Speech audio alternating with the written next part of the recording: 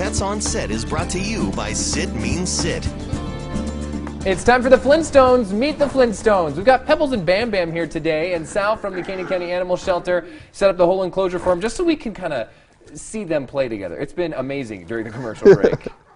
They are pretty adorable. and and these two are siblings. You were telling me. As Correct. Well. They are actually from the same litter. Um, so we have Pebbles over here and Bam Bam over there. I'm, I'm, I'm looking at the ears because they Right. look very similar, but Pebbles has the brownish ears, and then Bam Bam's are, are the black color as well. So, but they're a mix of the uh, of, of two different things, as far as you can tell, right? yes, they were Pinscher and Schnauzer, I believe. And Rachel was just looking at them and said, one kind of looks a little more pinscher and one kind of looks a little more schnauzer, but they still both look like siblings, right? Yeah. And And, they're not going to get very big. Are, Um, would you say they're full grown now, or do they have a little bit more? They have a little bit more grow, and I would probably put them maybe within 15 pounds, possibly. Okay. So they're not going to get very big. Now tell me Um, this: what people want to know: Are they old enough to adopt right now? Because there's probably people at home that want to take them home today. Absolutely, they are definitely uh, ready to go. They have both been, well, one's been neutered, one's been spayed. Um, obviously, Bam Bam is the boy, Pebbles is the girl over here. Um, but they are ready to go. They are $250 to adopt. Um, they would make great additions to any family, really. As you can tell, they're super, super cute. Would Kinda you? wanna si- I mean, they they they get along well because they are siblings. Uh, would it be okay if someone did want to adopt both of them, or do you try Absolutely. and spread them out? I mean, is there a preference either way on that? Um, if somebody could adopt both of them, that'd be amazing. Okay. They, they tend to play together really well, so you wouldn't have to worry too much about mixing um, two different dogs.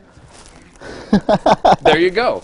Case in point, right? Yeah. And I, I noticed they love the corner of the blanket as well. They're going to teach you a lesson, huh? Oh yeah, they love There you go, Pebbles. that oh, stuff. oh, I thought she was going to. now she's just trying to figure out a way to get out. She might slip out that corner there if we're Right? Hmm. not careful. so, at the Canyon County Animal Shelter, do you guys have any specials or anything going on that people want to know about? we actually have the Summer of Love going on. It is from June 3rd till August 31st, and the first two weeks is our cat special.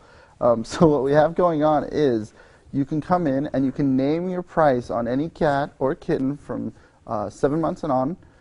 So the minimum is a dollar, but whatever you want to donate is the adoption price. Which you is can good. name your price. Which is good because I think some people will definitely be generous with their prices, knowing what that money goes towards to help you guys with the uh, the upkeep and Yeah. these microchipping and the spays and the neuters and everything. And, and uh, again, to reiterate, these two crazy guys, or a guy and a gal, I should say, they are they're ready to go, right? Yeah, they're Spayed, absolutely neutered, ready to go. microchipped, and uh, yeah, stop by the Canyon County Ready Animal to play. Shelter. Yeah, they'll be playing with you for a long time. Have they played with any other dogs? Do you know other dogs Um, or cats? they actually they had a slightly larger litter. Oh, and okay. They already went. They already got adopted. They Oh. went to good families, and so these guys are the two that are left right Yeah, now. and they're not going to be left for much longer. So even if you have another pet, it could still be a friend for these guys. So stop by the Canyon County Animal Shelter.